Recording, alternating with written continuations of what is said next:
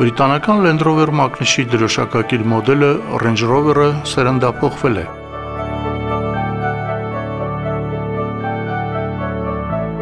9 տարվա արտադրական կյանքից հետո 2012 թվականին ասպարեզ հանված եւ 2017-ին թարմացված հեղինակավոր եւ պատկառելի ամենագնացն իր տեղը զիջում է նոր սերնդի Range Rover-ին։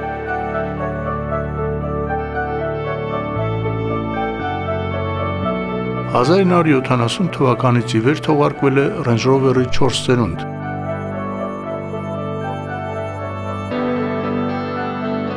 Այժմ հրաապարակ հանվող մեքենան բրիտանական պաշտամունքային այս ամենագնացի 5-րդ սերունդն է։ Նոր մեքենան ստացել է ֆիրմային բնորոշ դիզայն, առանց որևէ հեղափոխական նորամուծությունների, սաուն էվոլյուցիոն զարգացում, ժամանակակից մոդելային շարքի դիզայներական ոչաբանության տիրույթում։ Առաջին հայացքից կարող է թվալ, թե մեր արժև ֆեյսլիֆթի ենթարկված նախորդ սերնդի մոդելն է, սակայն դա այդպես չէ։ Նոր Range Rover-ը պատրաստված է բոլորովին նոր MLA Flex պլատֆորմի վրա եւ թափքի որևէ դետալ նույնական չէ նախորդ սերիայի մոդելի հետ։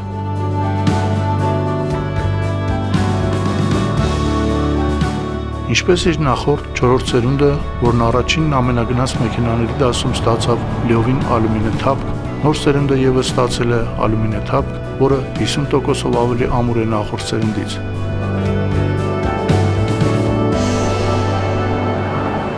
Նոր դրոշակակիր մոդելի արտաքինը լիովին համահունչ է 2011 թվականից Range Rover Evoque-ով սկսված եւ այնուհետև նախորդ սերնդի ավելի սոլիդ եւ մարմնեղ Range Rover-ով եւ Range Rover Sport-ով, ինչպես նաեւ Land Rover Discovery եւ Discovery Sport-ով զարգացած դիզայներական լեզվին, որն իր բարձրակետին հասավ Range Rover Velar-ի արտաքին դիզայնում։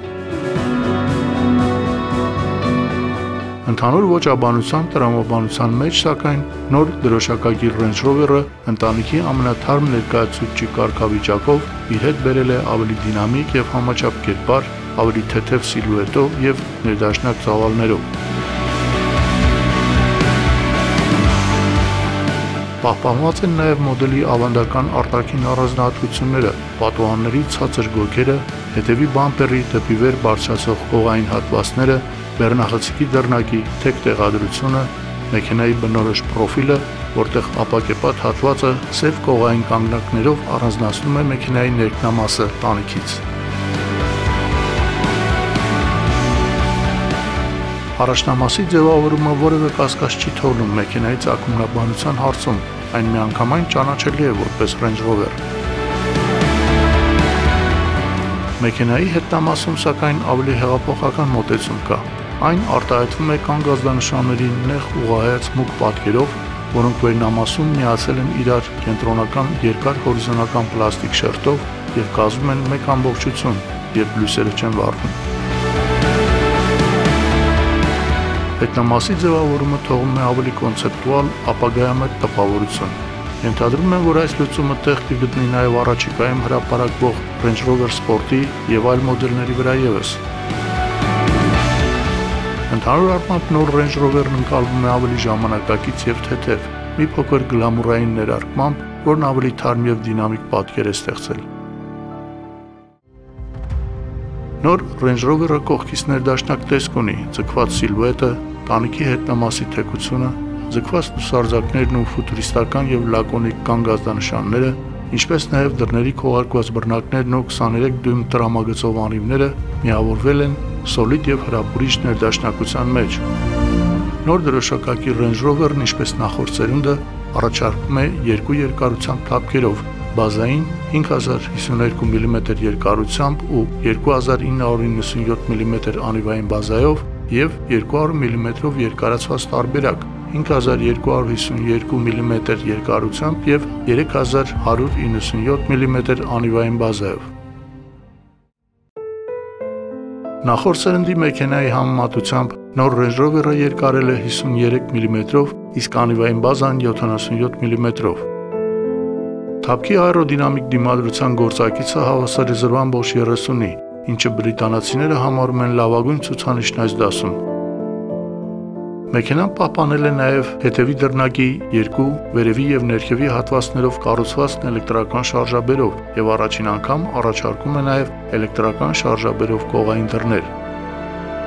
Ի տարբերություն արտաքին դիզայնի էվոլյուցիոն զարգացման, մեքենայի ինտերիերն ավելի կտրուկ ձևափոխության է ենթարկվել։ Այն դարձել է ավելի թեթև, լակոնիկ եւ քիչ ծանրաբեռնված։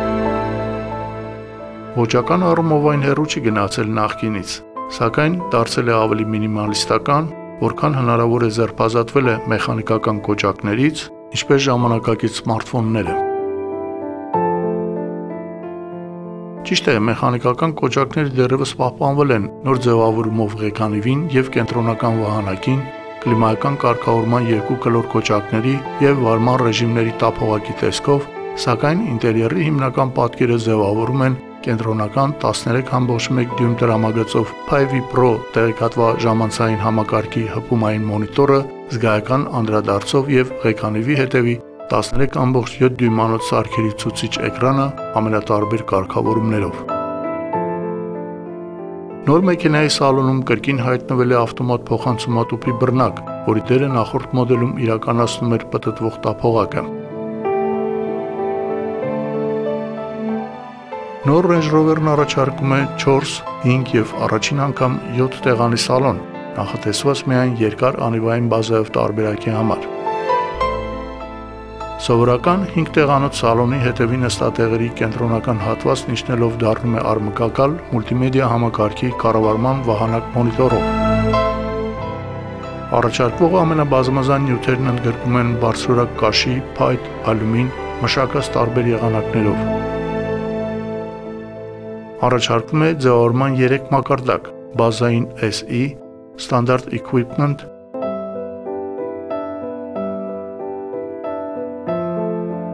ավելի բարձր HSE, High Specification Equipment եւ ամենաբարձր Autobiography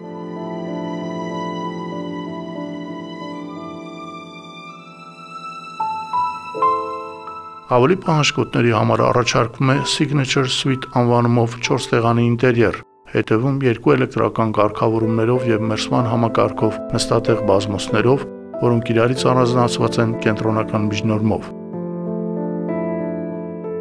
Միջնորմի մեջ թաքնված են սեղանիկներ եւ բաժակակալներ։ Իսկ արմունկակալի վերևում սառնարան է։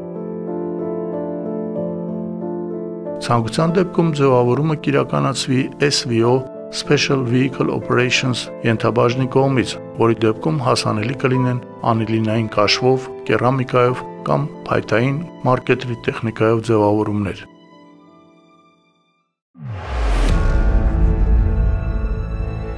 Նոր Range Rover-ը սարքավորված է պնևմատիկ կախոսներով եւ կարգավորվող ամորտիզատորներով, որոնք թույլ են տալիս մեքենայի թափնիչեցնել կամ բարձրացնել 5 մակարդակի վրա։